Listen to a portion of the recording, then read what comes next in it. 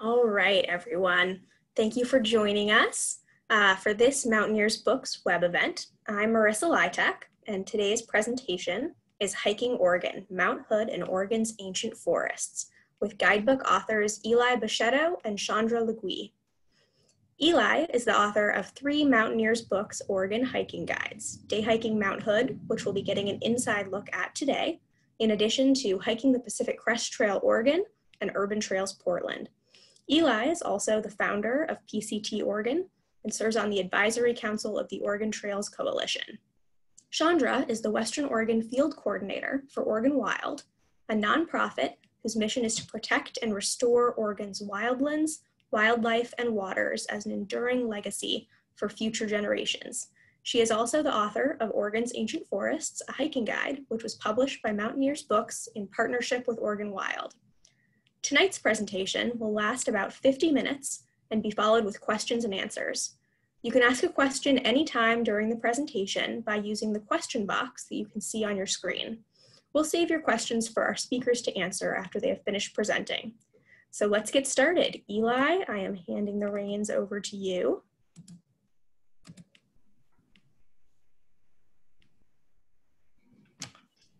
Hi there, everyone, and thanks, Marissa, for that introduction. Welcome, everyone, to our program tonight. Hope you all are doing well and being safe out there.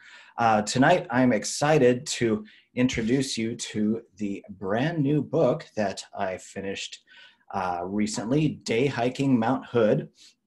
Um, we're going to be taking an inside look at uh, this uh, new guidebook, which um, not only covers a lot of Mount Hood's popular trails, as well as some more obscure ones that you might not be familiar with, but it also takes a seasonal look at hiking on Mount Hood so that it gives you opportunities to explore the mountain at any time of the year.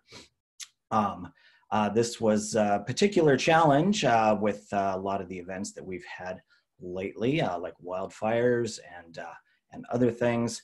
Um, and uh, it would be my preference to be broadcasting this from the trail, but we're in strange times right now. So um, you all get to uh, uh, enjoy this from my kitchen. So um, with that, we're going to uh, dive right into it. And I'm going to give a few highlights from the book, and then we're going to talk about some hiking, as well as how to get there, uh, get out there and uh, recreate responsibly this year, considering the current health concerns that are going around. So um, one of my favorite features in this new guidebook is the table that starts the book called Hikes at a Glance. This gives you a rundown of all the trails that are in the book and their and their seasonal appeal for when you might want to get out and hike some of these things like summer wildflower hikes or fall color hikes there's even trails in there to hike in the snow during the wintertime um, it also gives tips on dog and kid friendly hikes, um, as well as where you can go for great views, historical points of interest, and even suggestions for trails that are good on cloudy days. Unfortunately, in light of the situation that we're in right now, it does not give you suggestions for where to recreate responsibly and practice safe social distancing uh, so that you can avoid some of the crowds that uh, are typical to congregate on a lot of Mount Hood's more popular trails. And so that's what's going to be the focus of our uh, conversation tonight because I've gone and picked out 10 trails that you might want to consider to help you practice some of that physical distancing this summer and avoid those most crowded spots. Um, before we dive into that, though, um, I'd like to talk briefly about the Recreate Responsibly uh, Coalition. Um, uh, myself and my um, my brand PCT Oregon, we're a member of this coalition to promote safe hiking this summer, and we can do that by practicing six general guidelines. Um, you can see them on uh, the screen right now, and you can get more information on these if you go to the recreateresponsibly.org uh, website.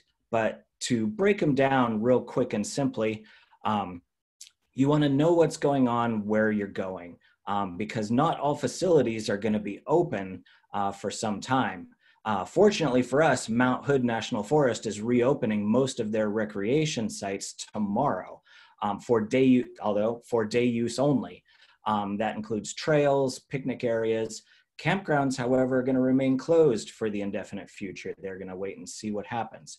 Um, other things that we should get used to being closed out there are restrooms, ranger stations, and other visitor facilities. Uh, this means that uh, you want to have your pass in hand before you head up there because the ranger station might not be open to give you one. Um, you should also plan on planning ahead. Um, given a lot of those closures, you want to make sure you have enough uh, food, pack your lunch, have water because uh, essentials and supplies might not be available up on the mountain when you're ready to get up and get out there. Um, they're recommending that we stay close to home, that we don't travel too far. This reduces traffic on the roads, and uh, in case of uh, uh, incidents, you're not far away from where you need to be. Um, of course, that physical distancing thing, that's a key point this summer that everybody will be practicing. Um, when you're in areas which are inevitable, even with some of the trails we'll be talking about tonight, you'll be in close proximity to other hikers. It's a good idea to try to maintain that physical distancing, um, at least six feet if you're standing, at least 12 feet if you're in motion. Um, and it's always a good idea to have a face covering or mask with you in your, when you're in those more crowded areas. Of course, when you leave the crowds behind and you get on those remote trails and away from everyone, it's uh, fine to take your mask off and enjoy the fresh air, but you just want to practice that safety both for yourself and for others when you're in those uh, more populated areas. Another recommendation is to play it safe out there. Uh, don't engage in any risky activities, uh, such as uh, going off trail or any uh, dicey um, adventures, because both search and rescue and health uh, oper- healthcare operations are stretched really thin right now. So uh, there might not be service available at any given time if you were to get injured out there. So it's a good idea to take it easy enjoy those known trails and just play it safe. And finally, and uh, this is always a given, but we just like to reinforce this, that we need to leave no trace.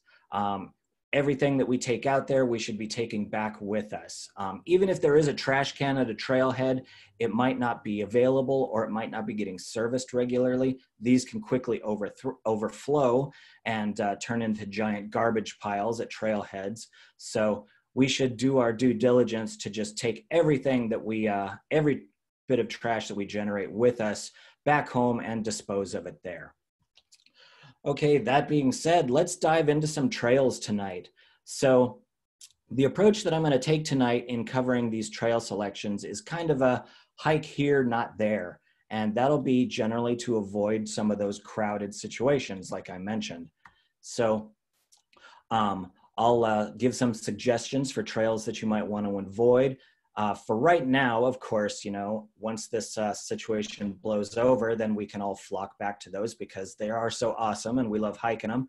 But right now, we probably want to just save those for later and take this opportunity to try some more obscure trails and lesser traveled ones so that we can exercise that distancing and stay safe out there. So, the ones that I would uh, avoid the big view hikes. These are the ones that we all love, getting up high, seeing the big mountain in front of us.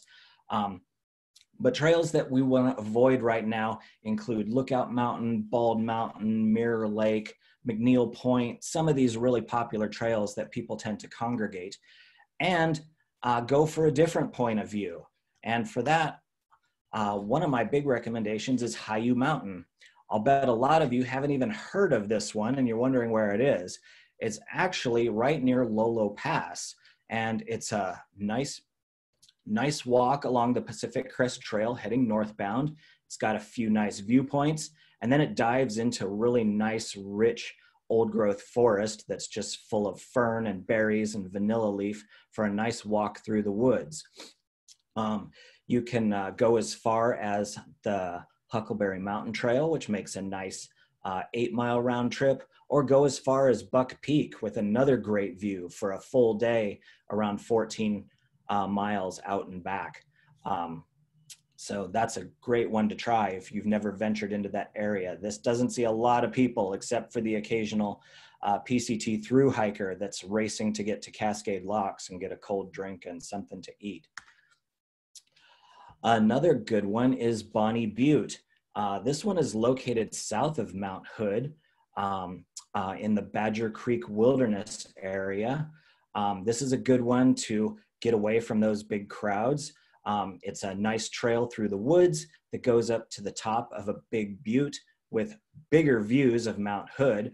The cool thing about this one is in fall, um, Hawkwatch International volunteers camp out on the mountain to, mo to monitor raptor migrations. They're really friendly. They offer clinics and demonstrations of uh, how they tag birds, and there's great views up there. There's an extra alternate to take a trip around the Bonnie Meadows Loop, um, and another good way to get away from big crowds. And finally, uh, this is a hike that I squeezed into the book at the very last minute because it was just reopened and recommissioned by the Forest Service. Um, and this is Owl Point, and it's on the lower Old Vista Ridge Trail on the north side of the mountain. You can get to it via the Lolo Pass Road, either from uh, Lolo Pass uh, coming in from um, the rhododendron area or coming up from the Hood River and uh, Lost Lake Road area.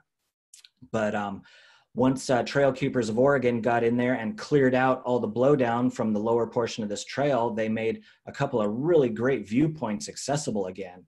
Um, it takes a long road to get back there, which uh, a lot of the people looking for quick and easy access tend to avoid. And so this is a good one to really get away from those crowds and get out into the middle of nowhere and get some really nice views as you can see here. Now, of course, summertime on the mountain, you know, it starts heating up out there. Everybody wants to go where there's water. Um, but um, unfortunately, water is a giant people magnet. And this summer, since we're looking at avoiding those uh, giant people magnet locations, um, such as Ramona Falls, Tamanawas Falls, Burnt Lake, Mirror Lake, etc., um, there are some alternate options for going to where the water is, where you can avoid those crowds if you're willing to put in a little extra effort for it. Of course, that effort pays off because these aren't super popular hiking trails that a lot of people flock to. The first one is being Cast Lake. Um, this is high up in the Zigzag Mountain area. You can reach this from the Sandy River Trails area um, where everybody's flocking to Ramona Falls. Instead, you can veer off to a horse camp and find this little trailhead hidden back uh, behind the campground.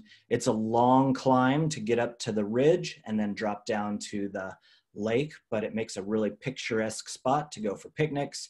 And um, when they uh, decide to open up the wilderness to overnight use again, it makes a great spot for a quick and easy uh, overnight backpack.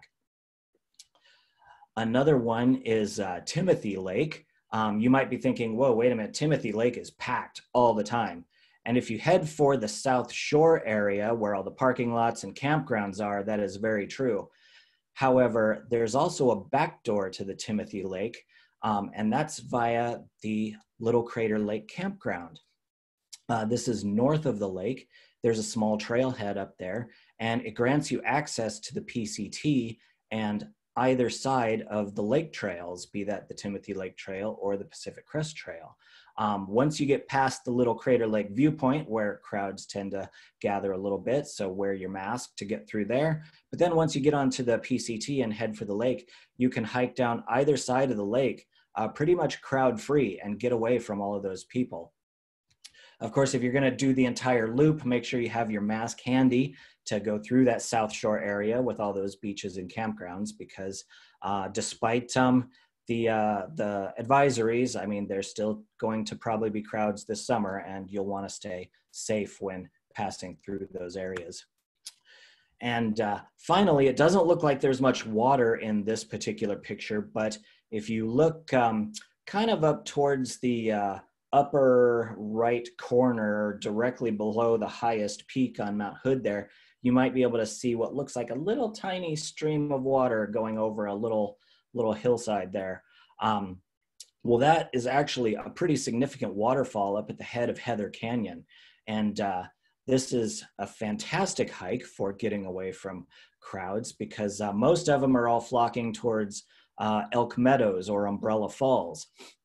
But if you climb up above those areas, uh, you can connect with the Timberline Trail, and then you can take a really nice traverse through the head of Heather Canyon, which is more known for some really awesome backcountry skiing, but the trail also winds, the Timberline Trail also winds through that area and offers some fantastic hiking in summertime with great views. And uh, not a lot of people venture into that area. So this is where you might find a little bit of solitude, get away from a lot of people. And then um, finally, I wanted to give a few suggestions on where you might be able to just avoid crowds in general by going to some more remote locations and uh, skipping the, the busy and known locations uh, completely. Again, that would include places like Elk Meadow, Cooper Spur, McNeil Point, um, etc. And uh, my first recommendation is Paradise Park. Now, this is another one you're probably thinking Paradise Park is insane crowded during the summertime. And that is true if you take it from the more popular approach via the Timberline Lodge trailhead and you just hike along the Timberline Trail all the way to Paradise Park. But there's a much lesser used trail, the actual Paradise Park Trail, which originates on the Kiwanis Camp Road, which is southwest of Government Camp down at the bottom of the mountain. Now, bottom of the mountain, that means you're climbing all the way up the mountain to Paradise Park. So, yes, it's a big climb, but it's a lot lesser used trail. And uh, the good news is, is there was a giant blowdown uh, episode on that trail a couple of years ago. Microburst just leveled about a quarter square mile of forest up there, but uh, the Forest Service and other trail crews got in there and cleaned that right up, and it reopened at the end of last season, and so that trail is passable again, and that leads straight up into the Paradise Park area. And once you're in the Paradise Park area, there is plenty of room to spread out on that trail and up in those upper basins so you can get away from the crowds, even if you happen to see uh, a higher number of uh, people out in that area. Um, another one is uh, over on the other side of the mountain, on the east side, is Polallie Ridge. This one is in the Cooper Spur ski area and is more known as a ski trail than a hiking trail, but it's a nice ridge hike um, that offers some fantastic views of not only Mount Hood, but a lot of the Washington Cascade peaks as well. Now, this one is for the route finders and the bushwhackers because uh, this trail does not get a lot of maintenance. Um, you have to go up through a lot of chinkapin and uh, and other shrubbery to find the trail, but the views make it worth it. And uh, because of this one's more difficult nature, uh, not a lot of crowds head for this particular area.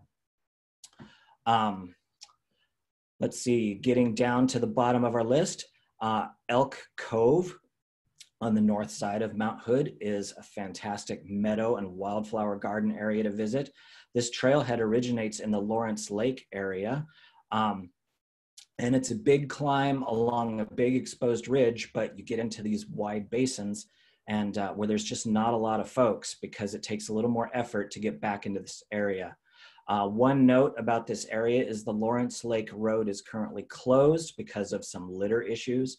Uh, so, and it's probably uh, still got uh, some snow on the trail now, so it's not quite ready for hiking anyway. Uh, but if you're thinking about this one for later in the summer and the next one, um, uh, check on that road condition before you head up in this, into this area. And uh, this will uh, bring us to our final hike recommendation. Uh, this is another one in the Laurance that originates in the Laurance Lake area on the north side of the mountain. And uh, this is the Barrett Spur at the top of the Pinnacle Ridge Trail. Now, I'm not going to lie to you. The Pinnacle Ridge Trail sucks. It's burnt, it's exposed, it's dirty, it's dusty, it's dry. Um, you have to do some route finding. You're probably going to tromp through some mud, even the middle of summer. So you can't be mad at me if you try this one and you don't have a good time.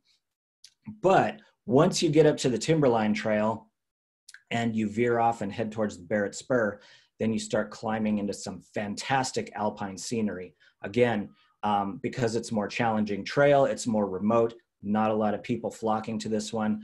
Good way to find some solitude and enjoy some really spectacular scenery. So I hope you've enjoyed this brief snapshot of day hiking Mount Hood and some recommendations for some uh, safe social distancing hiking this summer. Um, you didn't need to take, I forgot to mention, you didn't need to take any notes uh, during this thing. All of this information will be going up on dayhikinghood.com. And of course, you can uh, find all this information in my new guidebook, Day Hiking Mount Hood by Mountaineers Books. So thank you everyone for your attention. I hope you enjoyed this session. I'm going to turn it back to Marissa and our uh, special guest from Oregon Wild. Thank you, Eli. That was great. Um, all right, let's hand it over to Chandra now to hear about Oregon's ancient forests and Oregon Wild's important work in that arena. Chandra, there you are. All right, okay. it's all you. Okay, thank you so much. Um, well, let me reintroduce myself a little. Um, I uh, work for Oregon Wild, a nonprofit organization uh, working in Oregon since 1974. And um, as Marissa said at the beginning, our mission is to protect and restore Oregon's wildlands, wildlife, and waters um, as an enduring legacy for future generations. Um, oh, and I realize I'm not sharing my screen. Hang on one sec. Here we go. There we go. Um, and uh, so I've worked in our Eugene office uh, for about 16 years. Um, and a couple years ago, I had the opportunity to um, write this book, Oregon's Ancient Forests. Um, so in the summer of 2017 and into 2018, and it was released last summer by, by Mountaineers Books. So it's uh, pretty wonderful that I get to um, do one of my favorite things as part of my actual job, um, which is to hike and um, uh, sorry, I'm clicking. Um, so it's pretty great to hear some suggestions from Eli because I honestly haven't done nearly enough hiking around and uh, and some of that stuff that's up above tree line is, is, stuff I don't usually get to because I'm usually dealing with forests and forests are really where um, I love to hike. Um, that's me. This is me here getting out into some of my favorite places. Um, and so I'm fortunate um, not just to be able to uh, do some hiking and write this book as part of my job, but also to um, work to protect and advocate for the forests that I love here in Oregon. And man, there are some doozies. Um, hopefully, if you're like me, you've gotten out to enjoy some of Oregon's forests, and I hope to be able to inspire you to do even more of that. Um, but we have just some absolutely gorgeous forests, and um, it feels really good to um, be able to um, to, to, help protect them as part of my work at Oregon Wilds. Um, these forests, of course, are wonderful for going hiking, but they're also um, uh, they're also important for so many other reasons. Um, they cool and filter the water that salmon need to survive um, and that we depend on for drinking. They support healthy soil filled with um, all sorts of important organisms that help everything run, as well as fungi that we like to eat.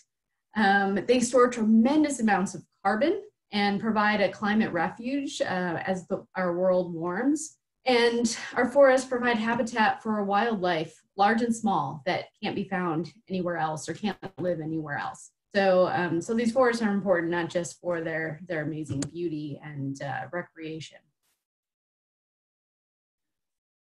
Um, about half of, of Oregon um, was once covered with diverse forests that changed and adapted over time for millennia. Um, unfortunately, over the last century or so, humans have carved up this landscape covered with forests with roads and with clear cuts, fragmenting forest ecosystems, destroying wildlife habitat, damaging soil and water quality, um, stopping the natural roll of fire, and replacing our diverse native forests with dense tree, tree farms um, and overgrown forests that um, once evolved with fire. So today we only have about 10 to 20% of our forests in Oregon that remain um, unlogged. So let's focus there. those those are the those those little little bits of forest that are left. So my book is a, is called Oregon's Ancient Forests. Um, but what does that mean exactly? I know a lot of people are more familiar with the term old growth forest, but to me, this is really too limiting and defined by age. Um, I know I don't like being defined solely by my age um, or my cat's bad behavior I see behind me. Um, so I, def I define ancient forests as ones that have grown and developed naturally over a long period of time without much human intervention. So that means they might look like, like this photo um, with uh, giant old trees, uh, a, a, diversity of shrubs and small trees in the understory of different species. There's dead trees standing and down on the ground. Um, there's healthy soil and there's lots of different types of habitat for um, wildlife to, to live in. Um, these forests are incredibly diverse and they're always changing. They're very dynamic. So um, going for a hike in one of these forests is always a different experience for me, or if you're paying attention. Um, there's everything from the variety of wildflowers that are growing after a fire, um, the mushrooms that pop out after a rain, um, the uh, woodpeckers drilling holes into, into um, standing dead trees, and then the mosaic and patchwork of disturbances like fire that um, play over the, over the landscape. Um, the diversity on a larger scale um, can be broken up into different forest types. And that's one of the things that, um, that I focus on in the book is sort of defining what these types are across the state. And there are several. Um, these are defined by the types of trees that grow in a certain area. Um, and that in turn is uh, defined by things like geology, water availability, uh, terrain, uh, like mountains. Um, but there's a lot of diversity of forest types across the state. From small pockets of forest types, uh, like um, quaking aspen, um, that's the black on the map, um, to forest types that cover a good part of the state, like ponderosa pine, which is in yellow. Um, there's also on the coast that band of, of red that I call the coastal fog zone forest that's dominated by Sitka spruce, western hemlock, and down in the very far corner of um, southwest Oregon, even coastal redwoods. Um, and then you see a lot of dark green on this map, and that is our beloved and ubiquitous Douglas fir forest type um, that probably most of us um, living in Western Oregon or Washington um, are very familiar with. Um, so, so there's a lot of diversity there. Um, so where are the ancient forests? And that's one of the things that um, my book tries to, to, to do is to help people discover where these forests are um, and um, also how they're managed because they are inexplicably linked. Um, so the short answer to where ancient forests are in Oregon is mostly on federal public lands. Our national forests, um, which are shown in green on this map, which is, is from the book, um, and a little bit on land managed by the Bureau of Land Management, BLM, which is in sort of a peach color on here. There are a few small areas of ancient forests and state parks and forests, which show up in yellow.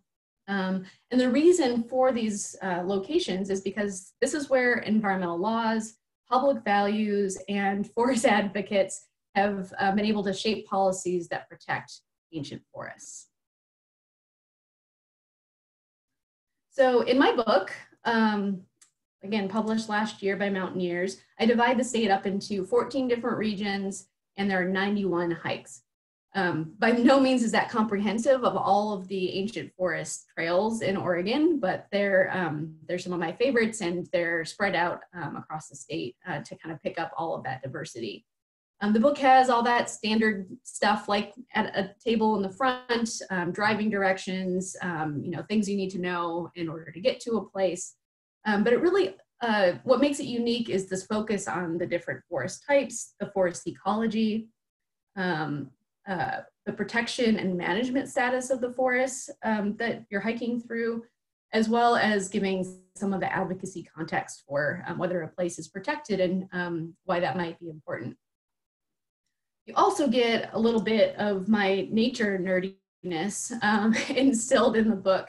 Um, uh, I love exploring and learning new things about the forest that I go hiking in. And so I try to give some tips on um, what you might like to learn or think about when you're walking along the trail, um, such as, you know, figuring out what uh, plants are edible, um, uh, you know, thinking about uh, the fire history of an area, um, things that really help uh, your experience uh, be unique and help hikers have the best possible experience.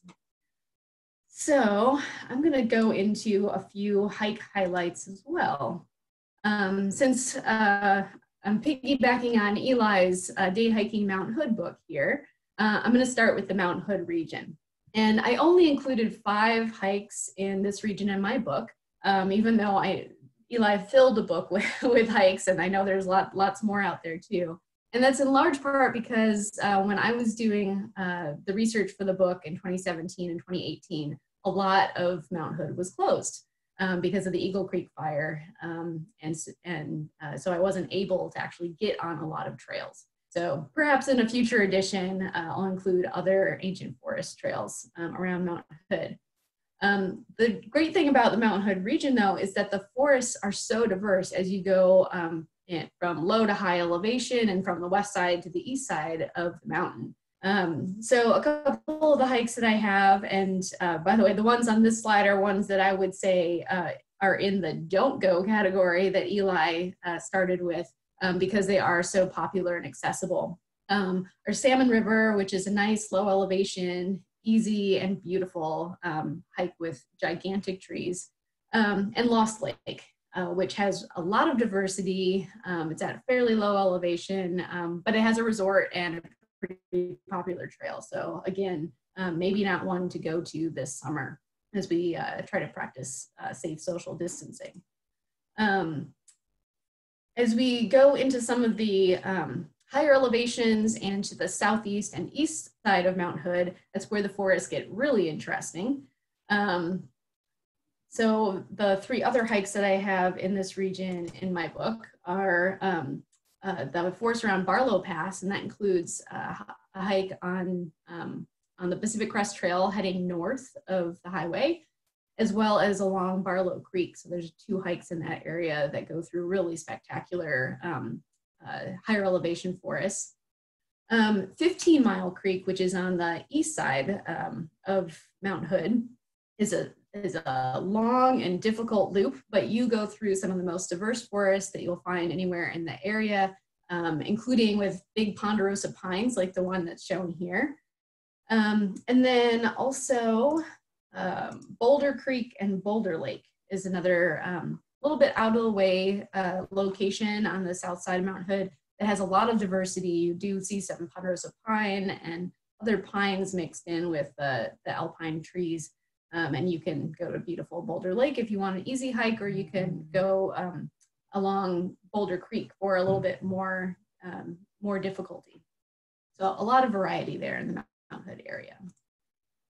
Okay, um, I'm going to take you on a, a little spin around uh, other some of my other favorite hikes in the book that will focus on places that are um, less crowded uh, and um, and out of the way um, I wanted to kind of pique your interest in these places, even though, as Eli said, the recommendation is to stay close to home and this none of these hikes probably qualify. Now's a great time to read up on these hikes, um, start planning for when it is okay to travel further away. So I wanted to make sure that um, you got a got a taste of some of the far-flung places across Oregon. So a couple of my favorites are in the Upper Umpqua region um, in my book. One of those is um, uh, called Cripple Camp. It's in the Rogue Umpqua Divide Wilderness area. And um, I, I recommend about a five and a 5.8 mile um, round trip, but there's uh, other longer loop opportunities uh, from that trail that I recommend. And uh, you honestly get to see, a, again, a huge diversity of tree species, including some of the largest incense cedar and Douglas fir um, that, that I know about. So it's a pretty cool spot and um, relatively easy. Um, another one is um, Yellow Jacket Glade, which sounds scary because nobody likes yellow jackets. but um, it's actually separated into two words and it's not related to the, the um, vicious insect. Um, Yellow Jacket Glade is really a nice loop, about five and a half miles long. It has these beautiful meadows as well as diverse forests, and um, uh, there's a campground nearby. But beyond that, I don't think a whole lot of people go there. Um, if you really want to get out in the middle of nowhere, um, the Klamath Lakeview region hikes that I have in the book are uh, will meet your criteria. This region is, um, is, is pretty far out of the way for most people who um, live in cities in Oregon, um, but there's some really spectacular places. Um, one of those is Cottonwood Meadow Lake. Um, I think whoever named it mistook uh, aspens for cottonwoods, but nevertheless, uh, it's really lovely. there's a, a, three and a half mile loop that goes around the, the lake uh, through some really beautiful forests. Um, moving out into um, the Blue Mountains and the Malheur National Forest, uh, there's some really beautiful river hikes. Um, great places to escape um, and hike through um, huge ponderosa pine and western larch forests. Um, this one is along the Malheur River, on the Malheur River Canyon Trail. it's a wild and scenic river uh, that has some protections along its banks and is absolutely spectacular. And uh, you can do an out and back of various lengths. And then finally, um, the region that I think a lot of people don't know nearly as well uh, is what I call the Northern Blue Mountains, um, which includes um, not the Wallowas, but the area to the west of the Wallowas and a little bit to the south. Um, uh, this hike that um, features really beautiful uh, western larch, lodgepole pine, and Engelmann spruce forests, which are pretty unique, um, is in the book described as the most remote in the entire book. so it's definitely out there um, and uh, hard to get to. Um, well, it's just it's just out. It's a long drive um, but really spectacular, cool place to discover um, a very unique forest. Um, and again, it's an out and back um, that can be, you know, anywhere from uh, three to seven miles on a relatively flat trail. All right, so there's my that's my very brief tour, and uh, I'd like to um, uh, end by driving home why I feel it's so important to help people get out and experience these amazing forest hikes. So I'm going to read a short piece from the introduction of my book, um, which, uh, which um, highlights an experience that I had about 18 years ago in the place that you're looking at in these pictures. So keep, keep that in mind. Okay. Um, so again, there's the book. Um, from a small lake on the western slope of the Cascades, where some friends and I had set up our tents beneath towering western hemlocks and red cedars the night before, we set off through the dense forest, following the stream flowing from the lake. There was no trail. We were deep in the wild and in rugged country where trail building and maintenance were not prudent endeavors, and the shrubs, evergreen huckleberry, Oregon grape, devil's club, formed green walls, making forward progress difficult. Climbing up on fallen logs, three to five feet thick, we followed an elevated highway, our path a giant array of pickup sticks. Whenever we needed a short break from the strenuous route, we gazed upward in awe at the towering trees surrounding us. The world was draped in countless shades of green, stacked in lacy layers. Everything smelled fresh and dirty and old at the same time. Small openings in the forest stood out, washed in sunshine. Birds and squirrels flittered in the underbrush, heard but not seen. We continued for hours, taking it all in.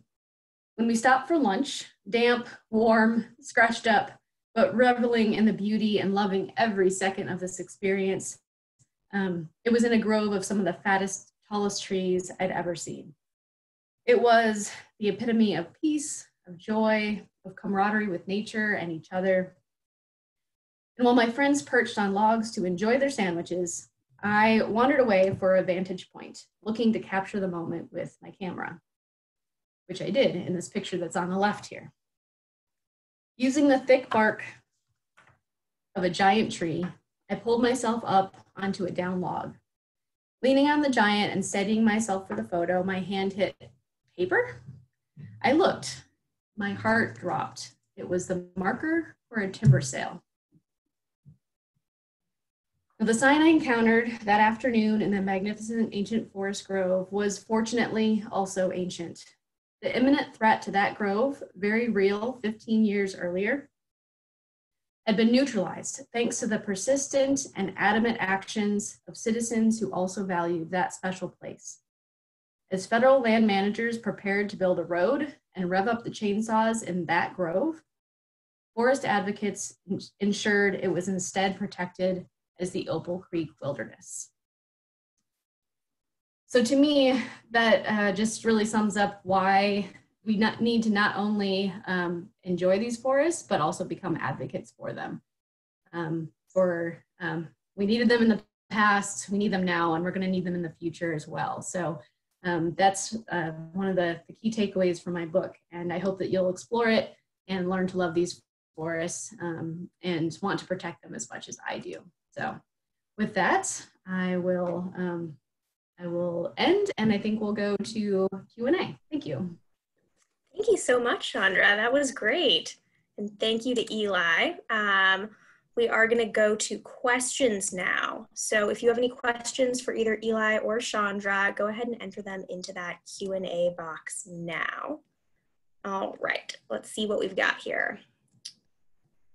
Okay, is the Sandy River Bridge still out on, on the Ramona hike? I am assuming this is for you, Eli. Yes, it is still out, and uh, the Forest Service has no intention of replacing it. Unfortunately, the uh, the river channel in that area is just too dynamic, and they can't get uh, they can't get a firm footing for a bridge in that area. So it's going to stay uh, wild and unbridged the way it is for the foreseeable future, unfortunately. So be prepared to uh, ford that if you head out there in that area, um, and be careful if you go too early because it can be a pretty dicey crossing. All right.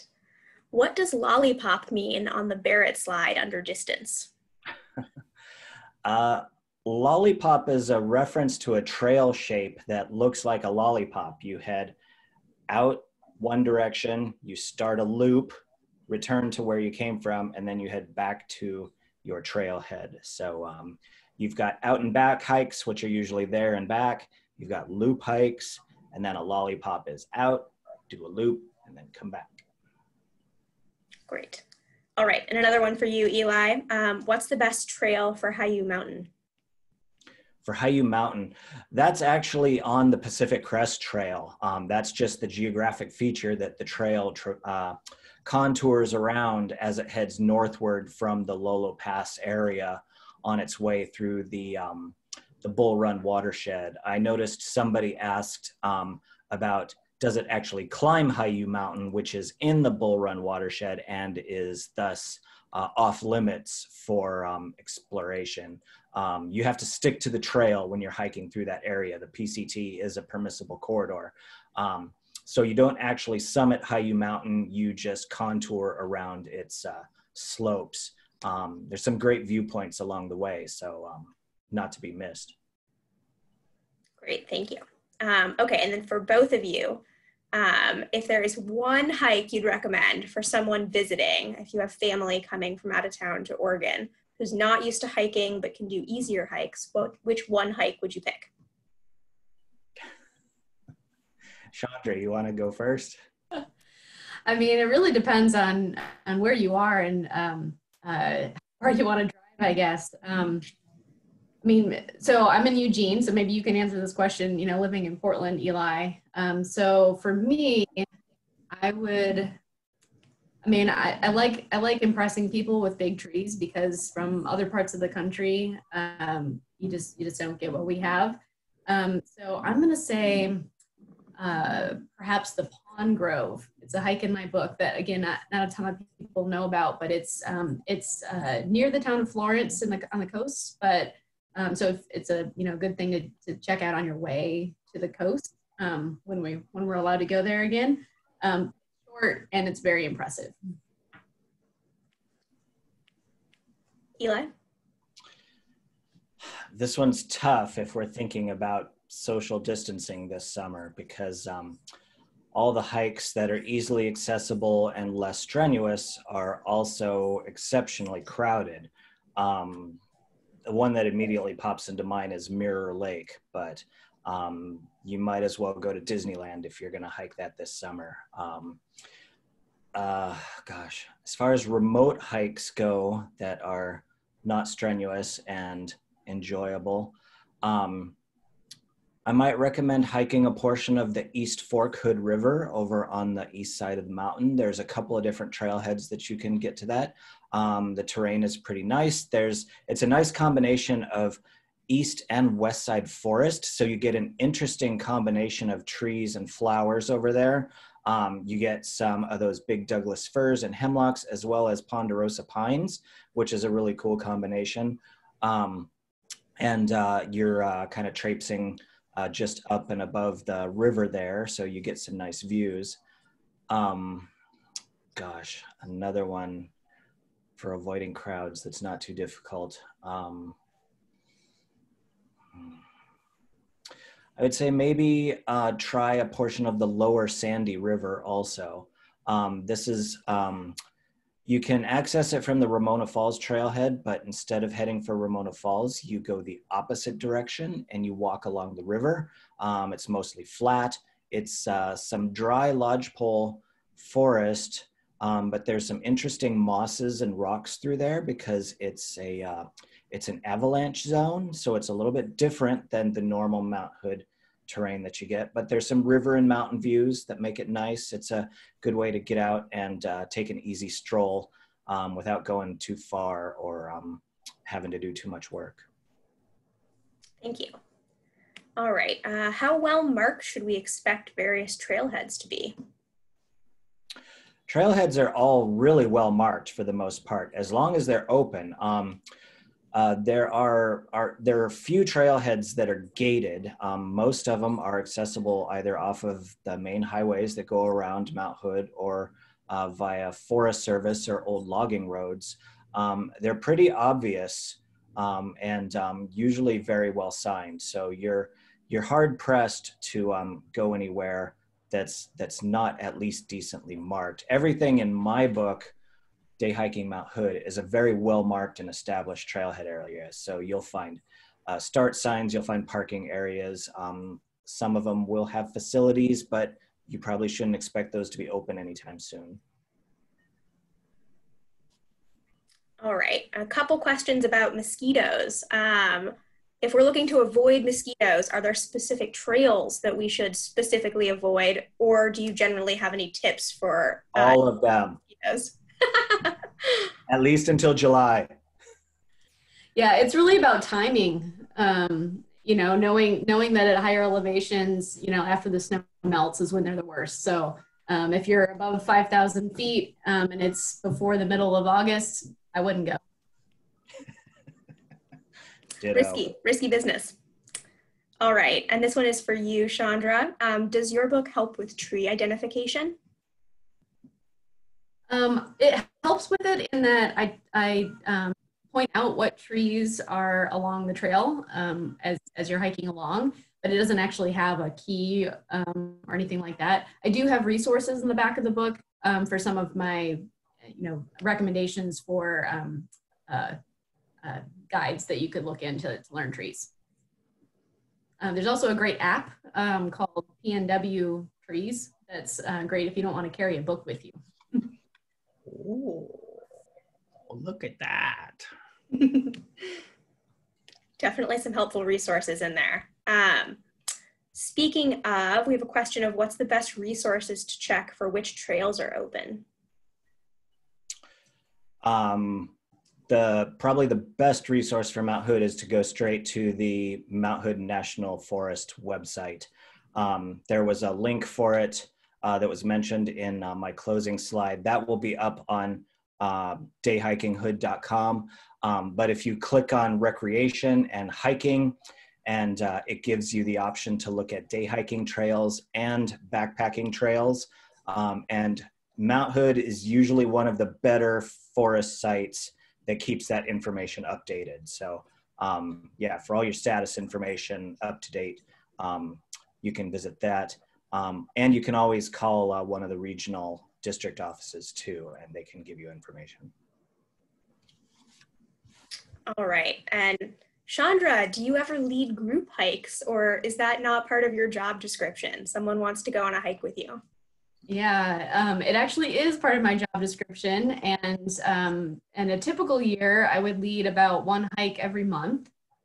Um, we are not um, leading group hikes this year. Um, we may reassess that in the fall, um, depending on how the summer goes with with COVID. But but uh, hopefully, we'll be back up and running next spring. And other Oregon Wild uh, staff members also lead hikes. Great. okay. So this is a question I'll actually take. Is there a package deal to buy both books if you want to pick up a copy of both Eli and Chandra's books? Um, there is not a package deal, but if you go to our website, mountaineersbooks.org, we have a 20% off, a 25% off deal on all of our books, including Eli's and Chandra's. So you can get both of them for 25% off on our website using the promo code time to read because we all have a lot more of that these days. Um, so definitely head over there and pick up a copy of both books. And another question, what type of wildlife would one encounter on the more remote trails? Squirrels. Take, squirrels. Honestly, you know, in, in hiking all over the state, I saw surprisingly little wildlife and I was alone, which um, usually is when you see more wildlife, but they're, they're wily. They know you're there. Um, was really hoping to see a wolf um, because I was hiking in a lot of, of Oregon's wolf country in Eastern Oregon, but I didn't. Um, I did see a moose. Moose are pretty rare in Oregon. They only live in the, the northeast corner of the state, and there's only a few dozen of them. Uh, so I think being in a really rem- remote area helped with that, and that was cool. Yeah, ditto that. Um, one of my favorite wildlife stories to tell is the uh, three summers that I spent hiking up and down the PCT here in Oregon for my PCT guidebook. Um, uh, in all three of those summers on the Pacific Crest Trail, thousand miles of hiking, I saw two deer and one bunny rabbit and one pile of bear scat. Um, the critters are out there, but um, they don't want to have anything to do with us. Um, that being said, though, um, I still like to suggest that um, you be aware that they're out there. Um, I'm sure some of you may have heard there was a cougar attack on Mount Hood um, a couple years ago, unfortunately. The first recorded cougar attack in Oregon. Um, it was such an oddball thing to happen. I mean, the, the odds of it happening again are just astronomical. So you don't need to go out there and be fearful of wildlife, but just by practicing good trail ethic and and knowing how to respond in the odd chance that you do happen across a wild animal is a good way to stay safe um, because yeah. um, for the most part animals don't want anything to do with humans they're not on we're not on their menu so you don't have to be fearful in that sense yeah I'm, I'm, your book might have this as, as well eli but I definitely have a section about you know what to do when you encounter wildlife yeah. and um, I, I saw more more bear scat than i wanted to see but I, I didn't encounter any bears. I love seeing bears. I only see bears when I go down to the Sierras in California. All right. Well, I think that's about all of the questions we have time for, but don't worry if we didn't get to your question. Um, we'll have Eli and Chandra write up answers and send them around um, along with uh, a recording of the video within the next couple of days. Um, so thank you again, everyone, uh, for joining us today. Um, again, I want to reiterate that on our website, mountaineersbooks.org, you can use the promo code time to read for 25% off all of our books, including Eli and Chandra's. Um, and don't worry, we will include that promo code um, in with the email with uh, Chandra and Eli's responses to the rest of your questions and a recording of this video in a couple of days. Um, as a reminder, Mountaineers Books is a 501c3 mission driven nonprofit we are supported by a combination of book sales and philanthropic support, which has become ever more important in this uncertain time. So please consider purchasing a book or making a donation to help us continue publishing our award winning books about the outdoors. And tune in on June 10th for more from Eli and Oregon Wild, who will be discussing the campaign to protect Mount Hood through increased wilderness designations for the forests surrounding the mountain. And you can find all the details on that at OregonWild.org. In the meantime, we hope you are staying safe and finding ways to enjoy all the outdoors has to offer during this time. And we hope you have a wonderful night. Thank you, everyone. Thank you.